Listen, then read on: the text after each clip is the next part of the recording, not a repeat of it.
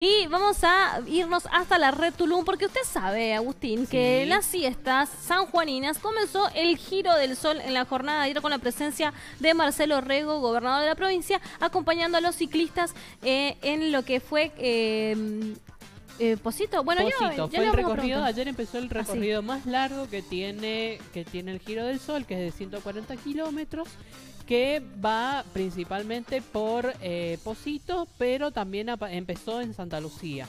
Claro. Eh, y por esto ha afectado a algunos sectores de eh, en los que se maneja en colectivo, por la Claro. Tulum. El giro del sol entonces recuerde que va a durar hasta el día domingo, ¿sí? Por lo tanto, las diferentes zonas en las que va a estar afectado justamente a la carrera, va también a afectar los diferentes tránsitos de lo que es la red Tulum. Vamos a conocer entonces lo que ha dado a conocer la red Tulum en la jornada de hoy, porque estos son los los principales eh, cambios que van a tener. En la etapa 2, que es hoy 12 de enero.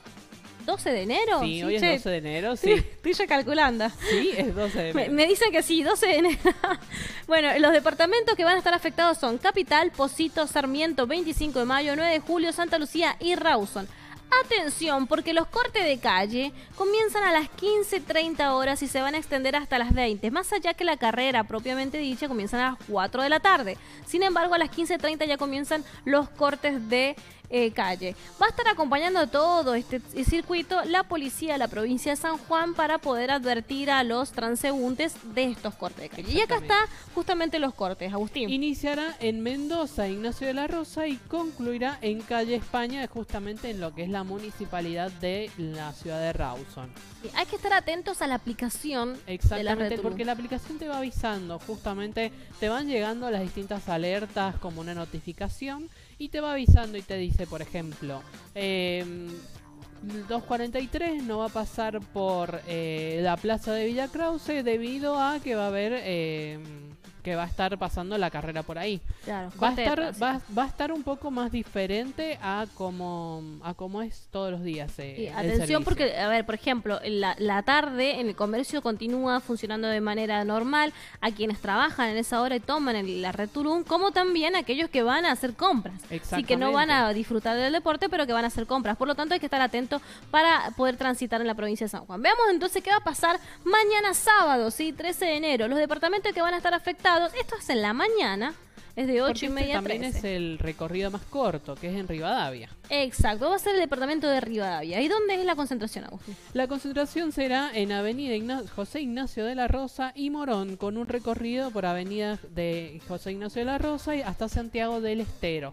Este es un recorrido de 8 kilómetros que eh, va a ser mucho más corto. Este es un recorrido de velocidad, por lo que no va, mm, no se va a no me sale la palabra, pero no va a estar, o sea, no, por eso es que no se extiende por toda la provincia, solamente en ese trozo de la eh, Avenida Ignacio de la Rosa. Bien, de 8.30 a 13 horas entonces es el, eh, el horario en el que las calles van a estar cortadas. Vamos a ver la última plaquita entonces para saber qué pasa el día domingo también, que es un día de tránsito en la provincia teniendo en cuenta las vacaciones y también el momento de, eh, de relax que tienen los sanjuaninos, ¿sí? Mire, los departamentos, afectados, ah, eh, perdón, los departamentos afectados son Capital, Rivadavia, Uyum, Sonda, Chimbas y Albardón. Aquí hay que tener cuidado porque justamente Uyum, Rivadavia y Sonda son los departamentos que por ahí más mueve el turismo y el horario en el que va a estar afectado es desde las 15.30 hasta las 20 horas. Así que atención especial para aquellos que aunque no se manejen en la red Tulum,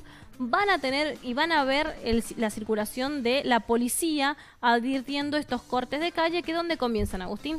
Van a comenzar en el circuito, eh, será en calle Benavides y Tucumán, pasando por las diversas localidades que eh, recién acabamos de mencionar y finalizando en Sarmiento a la altura del Parque Latinoamericano.